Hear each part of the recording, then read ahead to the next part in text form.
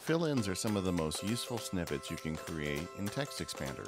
Fill-ins allow you to have customized text within snippets themselves. I've created a copy of that earlier email I wrote where I demonstrated use of the tab key about the letter to Dear Customer. And I thought we'd go ahead and put some fill-in fields in this so you can see how it works. For instance, if we're sending emails to customers, we don't want to say Dear Customer, we want to put in their specific name. So instead of the word customer, I'm going to delete that and go up to fill-ins and say we're going to put in a single line field. And the field name is going to be customer. And there is no default value. We'll go ahead and click OK. And now you can see we've created a fill-in field. And you're going to see how all this works in just a minute. Reading on, we'll go ahead and put another carriage return in. It says, thank you so much for your order of our new lead balloon Mark IV. Let's say we have three or four different lead balloon products.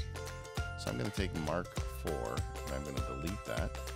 And let's add a fill-in snippet to solve that problem as well. I'm going to go up to the fill-ins and go to the pop-up menu. And the pop-up is going to be called balloon because it's the type of balloon. And there'll be multiple options. We'll have Mark 1. And I'm going to select copy that so I can paste it later. Mark 2. Mark 3 and Mark IV. And let's say that the Mark IV is the most common order, so we'll make that the default selection by clicking on it there, and we'll click OK. Now we're going to move on. This new model is fantastic, and we promise this time it will actually float.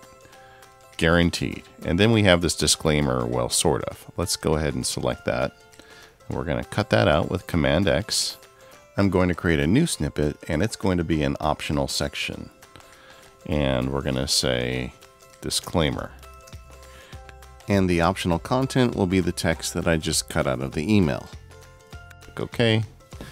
All right, so now you'll have the option to use that or not. All right, so let's see all that in action in an email.